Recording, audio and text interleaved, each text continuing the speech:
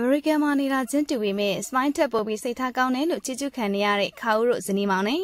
ခါဦးနဲ့ကိုထွန်းတို့ဇနီးမောင်နဲ့ကတော့အမေရိကန်မှာနေထိုင်နေကြတဲ့မြန်မာပြည်ပွားမြန်မာလူမျိုးတွေဖြစ်ပါတယ်။ခါဦးတို့ကဂျင်ဆွဲရတော့ဝါသနာပါတာကြောင့်ဇနီးမောင်နဲ့နှစ်ယောက်လုံးရဲ့ခန္ဓာကိုယ်ပုံစံတွေက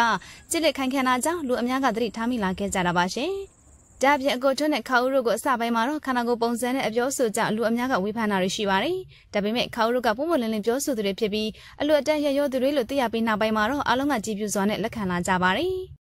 ခါရိုဇနီမောင်နှင်ကအမေရိကန်မှာစားသောက်ဆိုင်လုပ်ငန်းနဲ့တခြားစီးပွားရေးလုပ်ငန်းတွေကိုလုပ်ကိုင်နေကြတာဖြစ်ပါတယ်။နိုင်ငံခြားမှာရောက်ရှိနေပေမဲ့သူတို့ရဲ့ပတ်စံတွေကိုမြန်မာနိုင်ငံကချို့တဲ့တဲ့သူတွေအတွက်သာသုံးနေကြတာပါရှင်။ဆိုရှယ်မီဒီယာပေါ်မှာချို့တဲ့အလွန်လို့အကူအညီတောင်းကြတဲ့ကလေးတွေနဲ့တက်ကြီးရွယ်အိုတွေကိုတွေ့ပြီးဆိုတာနဲ့ခါရိုကနေရလိပ်စာကိုစုံစမ်းပြီးကူညီထောက်ပံ့မှုတွေပြုလုပ်ပေးနေကြတာပါ။ခါရိုကကူညီတဲ့နေရာမှာပေါ်ပင်ကူညီတာမျိုးမဟုတ်ဘဲလဆင်ထောက်ပံ့မှုတွေကိုပြုလုပ်ပေးနေတာပါ။အသက်ကြီးတဲ့အထိရေကကြောင်ရောင်းနေရတဲ့ရေကကြောင်တဲ့အဖွားကိုလည်းခါရိုကလဆင်2သိန်းစီထောက်ပံ့ပေးနေတာပါ။အဖွားကိုနောက်ဆုံးအချိန်ထိရေကကြောင်မရောက်ရအောင်စာဝတ်နေအတွက်တစ်လ2သိန်းထောက်ပံ့ပေးသွားမှာဖြစ်ပါတယ်။ဒါပြင်ဂျန်တော့အတွက်လည်းအသက်18နှစ်ပြည့်တဲ့အချိန်ထိတစ်လ2သိန်းနဲ့ခါဦးတို့ကထောက်ပံ့ပေးနေတာပါ။ခေါကမနဲ့မိုးလိမ့်ပြီဆိုတာနဲ့ကူညီပေးရမယ့်သူတွေကိုရှာဖွေပြီးငွေကြေးထောက်ပံ့ခြင်းဖြင့်ကူညီပေးနေကြတာပါ။ကလေးတွေနဲ့တက်ကြီးရွယ်အိုတွေကိုအဓိကထားပြီးလှူပေးနေတာလည်းဖြစ်ပါတယ်။နိုင်ငံသားမှရှိနေပေမဲ့လည်းအလွတ်တန်းရရောတဲ့ခေါတို့ဇနီးမောင်နှံကိုတော့လူတချို့က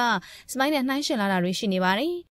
စမိုင်းကသုံးမကုံဖြုံးမကုံအောင်ပြည့်စုံချမ်းသာတဲ့သူတွေဖြစ်ပါတယ်။အလွတ်တန်းနဲ့ရရောတာကြောင့်နိုင်ငံသားမှာဆိုဒေါ်လာ1000ကိုနေရာတော်တော်များများမှာလှူနေတာပါ။ဒါပေမဲ့မြန်မာနိုင်ငံအတွက်လှူတဲ့အချိန်မှာတော့သိန်း100တောင်မပြည့်တာကြောင့်အလုံးကသဘောမကျဖြစ်နေရပါတယ်။စမိုင်းကကိုယ်နိုင်ငံအတွက်စေတနာမရှိတဲ့သူလို့သာသတ်မှတ်ပြောဆိုနေကြတာပါရှင်။